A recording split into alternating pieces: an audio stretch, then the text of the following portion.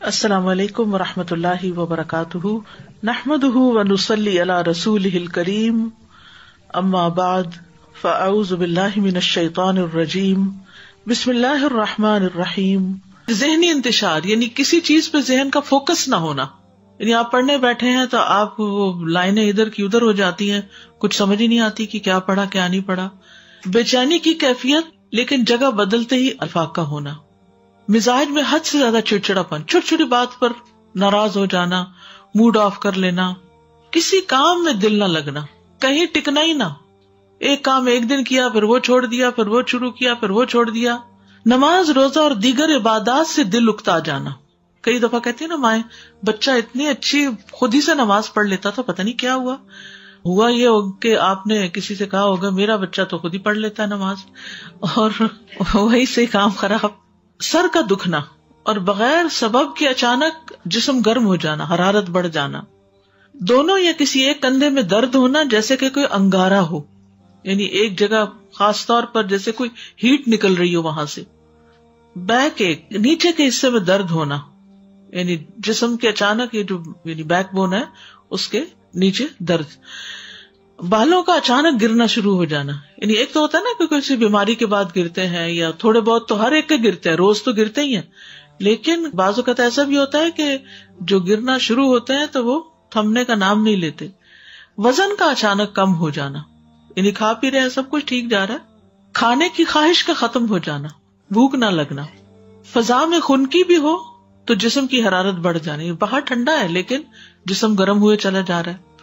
اور اسی طرح باہر گرمی ہے اور جسم ٹھنڈا ہی ہوا چلے جا رہا ہے۔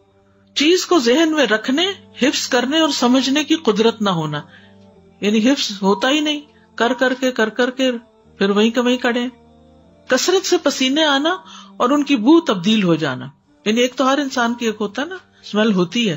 لیکن ایک وہ بہت اسٹرانگ قسم کی شروع ہو گئی۔ جلد پر پھوڑے پنسیوں کا خارش کا ظاہر ہونا یا چیونٹیوں کے رینگنے کا احساس ہونا، جیسے کچھ چل رہا ہے جسم پر۔ نیند کا کم آنا اور زیادہ تر جاگنا، انسومنیا جس کو بولتے ہیں۔ بازو کا دورے کی کیفیت کے دوران گردن ٹیڑھی ہو جانا، ڈراؤنے خواب آنا، بیداری میں بھی چیخو پکار کی آوازیں سنائی دینا۔ علیحدگی اور تنہائی پسند کرنا، ذہنی پراگندگی۔ گھر والوں، دوست رشتے داروں سے معاملات بے سبب خراب ہونا یعنی جس کے ساتھ یہ معاملہ کیا وہی گڑبڑ ہو گئی۔ رونے کی خواہش کرنا یا ہمیشہ روتے ہی جانا۔ یعنی رونے کو ہی بہت دل چاہتا ہے۔ تو یہ عوارض جو ہے یہ بیماریاں ہیں اور بیماریوں کی علامات ہیں۔ ان میں نفسیاتی، روحانی، جسمانی سبھی کٹھے ہو سکتے ہیں۔ یعنی جسمانی بھی، روحانی، نفسیاتی، یہ سارے مل بھی جاتے ہیں بعض اوقات۔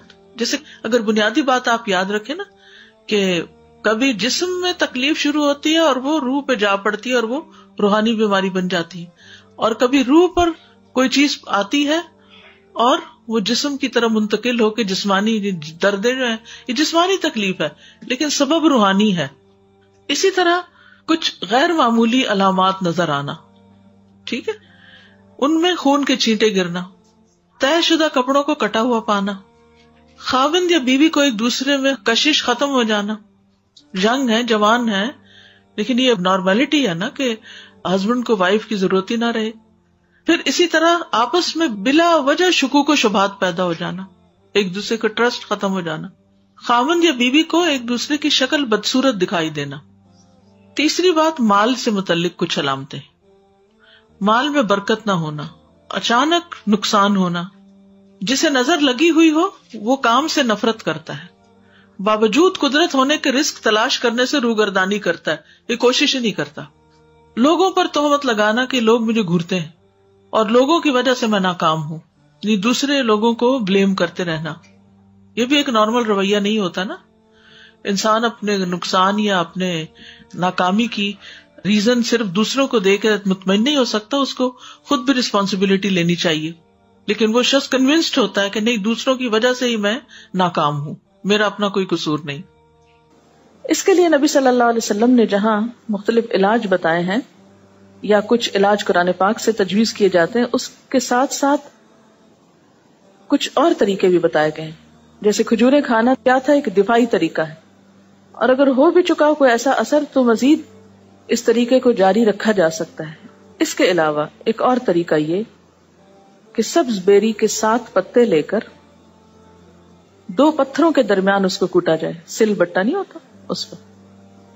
اور پھر کوٹے ہوئے پتے جو ہیں، ان میں اتنا پانی ملا لیا جائے کہ جو نہانے کے لیے کافی ہو۔ پھر مندرجہ ذیل آیات پڑھ کر پانی پر دم کریں۔ ان آیات کو اعوذ باللہ من الشیطان الرجیم پڑھ کر پڑھا جائے گا۔ ان آیات کا حوالہ نوٹ کر لیجیے۔ سب سے پہلے آیت الکرسی۔ اس کے بعد سورت العراف کی آیت نمبر 117 سے 122 تک، پھر سورت یونس کی آیت نمبر 79 یعنی اناسی سے بیاسی آیت تک 82 تک، اس کے بعد سورت تاہا کی آیت نمبر 65 سے 70 تک یعنی 65 سے 70 تک۔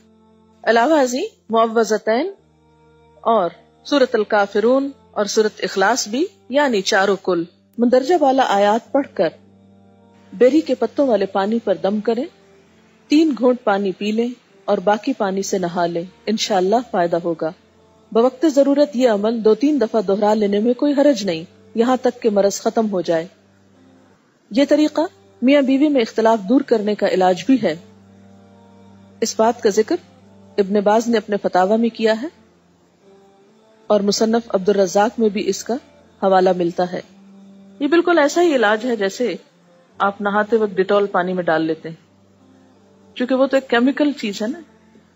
تو یہ کیا ہے؟ ایک نیچرل علاج ہے ڈس انفیکٹنٹ آپ نے دیکھا ہوگا کہ مردے کو بھی بیری کے پتے ابال کر نہلایا جاتا ہے صفائی کے لیے۔ پہلے زمانے میں صابن نہیں ہوتا تھا۔ تو صابن کا کام کس سے لیا جاتا تھا؟ بیری کے پتے۔ اچھا یہ کیوں؟ آپ کو ابھی میں نے بتایا نا کہ جہاں گندگی ہوتی ہے، نجاست ہوتی ہے، وہاں پر جنات آتے ہیں، جادو کا اثر ہوتا ہے۔